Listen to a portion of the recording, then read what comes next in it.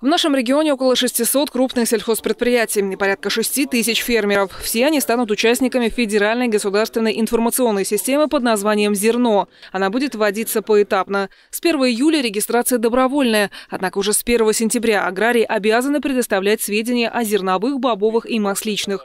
Например, по пшенице нужно будет внести данные по восьми показателям. Это класс зерна, количество клейковины и другие. Предполагается, что благодаря нововведению российский бизнес сможет работать эффективнее эффективнее, так как повысится прозрачность рынка.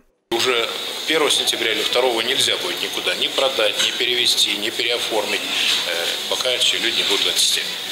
Это важно, и поверьте, все производители сами завтра увидят необходимость этого, потому что, к сожалению, на рынке много и добросовестных клиентов. Особенно это касается и количества зерна, и в том числе его качества.